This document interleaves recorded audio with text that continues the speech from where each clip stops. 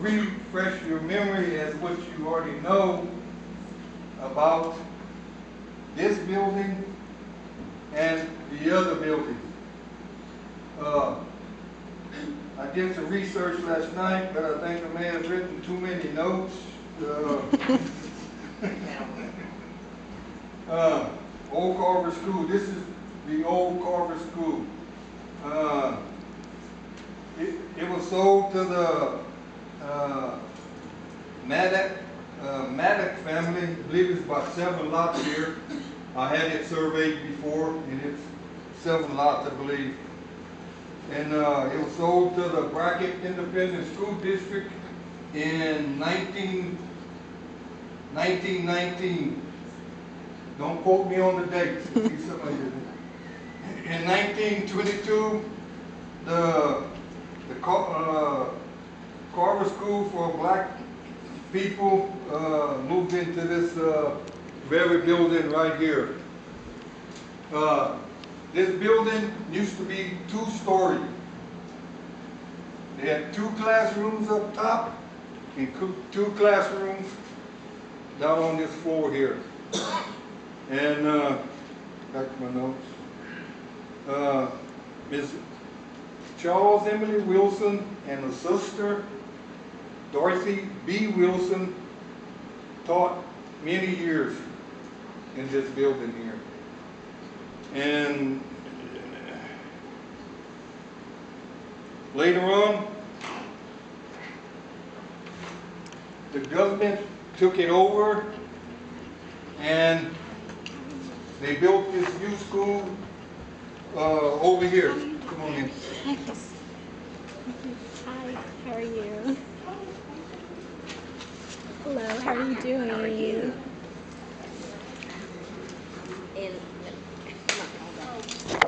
No, I don't want you How are calling. you? Good to see you. Do you need any help down. up? How are you doing? Hi. How are you? Doing good. Thank you for coming. You're welcome. Woo. There's some chairs right in the front. Okay. Yeah.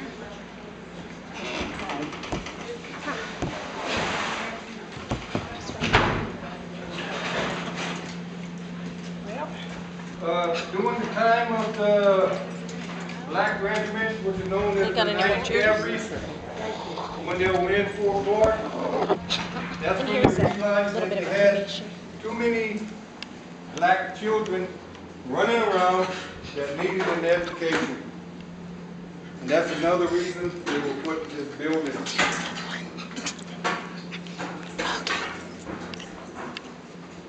Uh, they got that school over there built, they tore the top off of this one.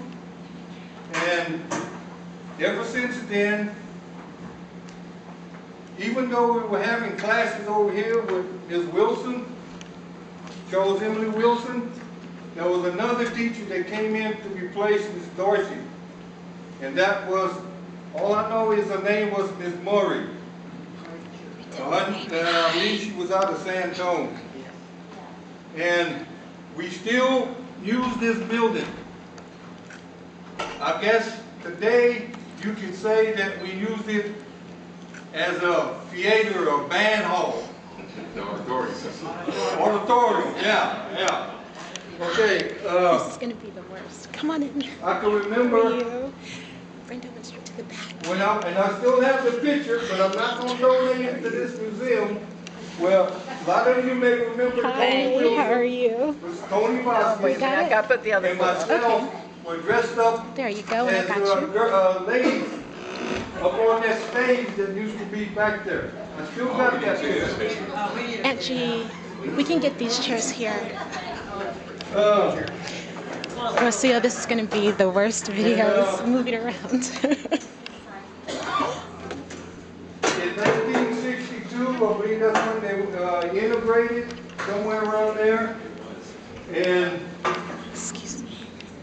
so, the Sem, the Seminole Cemetery Association purchased this land and buildings from the Independent School District for eleven hundred bucks.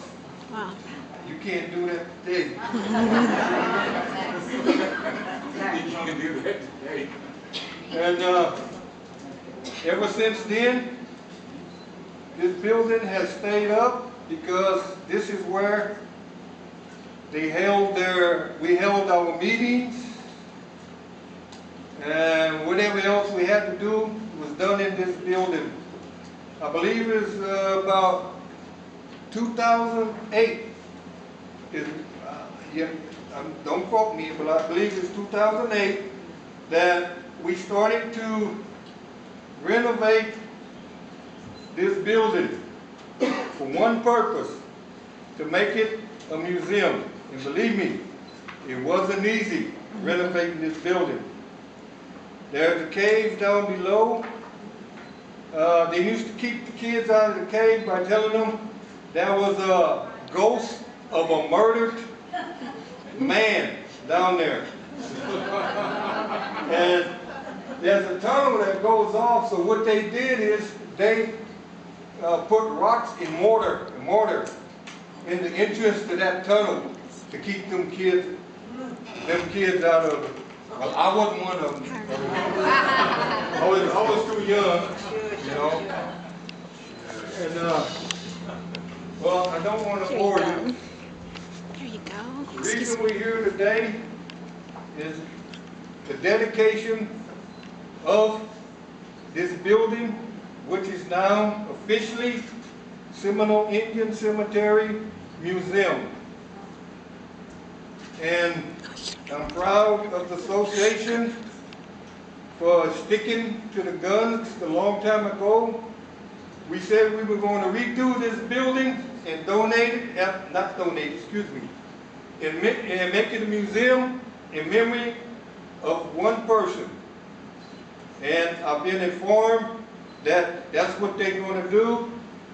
It's in memory of Charles Emily Wilson.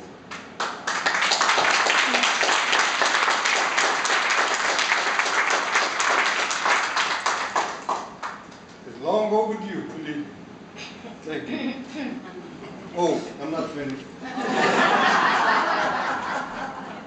Yesterday I was in here visiting with Rasho, uh, Wendy in Augusta, and they were talking about books to put in the museum. I dug, I researched last night, everything. And what I have here is the official book. The book is Our Land Before We Die by Jeff Guinn, said. And he signed it himself for the association, with all respect, Jeff Guinn, 92102. I hereby offer this book to Augusta Pines for the museum.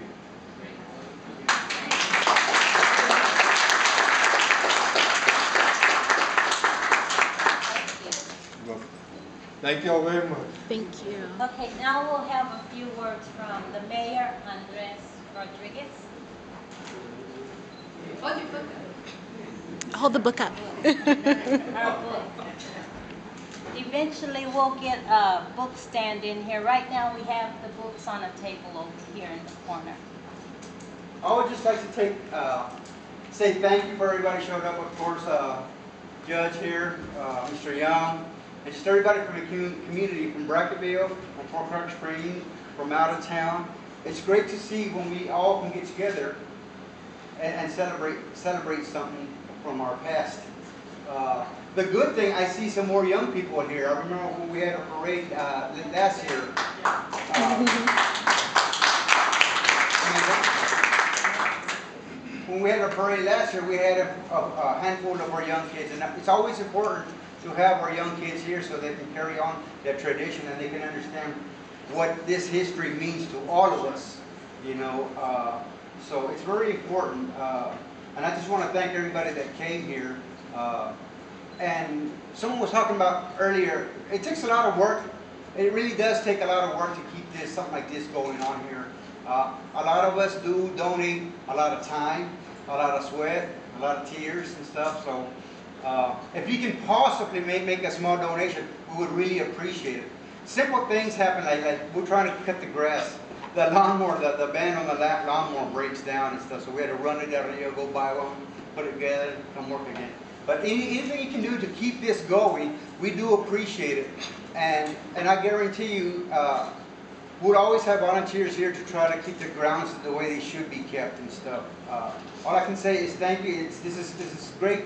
This is a great focus for the town of Brackettville because this is some, a beautiful tradition here, and, and it's a really an honor. And any mayor that comes after me uh, should always be make an effort to attend these things and show these the young people that come from out of town, from within town, that come here. We should show that appreciation appreciation to you guys because really we really need you guys to to help us and, uh, we do appreciate it. And I hope you in the future, you know, the leadership keep, keeps coming out here and celebrate with you guys, you know, because it takes a lot of work.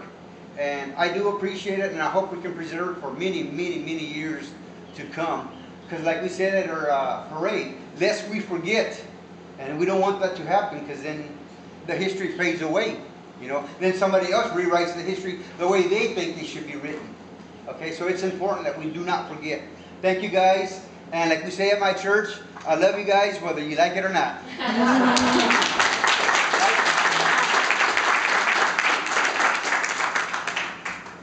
Uh, I hope most of y'all got one of the yellow uh, papers that were going around. And on there, it also has the website of the association, and you can find out a lot about what's going on on there. And if you would like to contribute your, not only donations, but maybe your time or something you have at home that you would like to, you know, place in this museum, we would really appreciate that. And also, we're working towards other goals. One is fixing up this building over here, like Clarence said. We want to get doors uh, repaired, windows, and things like that. And then go to our bigger dreams, which is making that into something educational for this community and these families from here and, you know, everywhere that come back here. And then also today, we have a plate sale, and the plates are seven dollars. I think it's barbecue, brisket, rice, and beans. And then we're selling some cups here. They're for two dollars. They're the Seminole Indian cups. And that's it. That's it. And then at this time, we'll hear from Mr. Lee, and he's gonna give a short speech.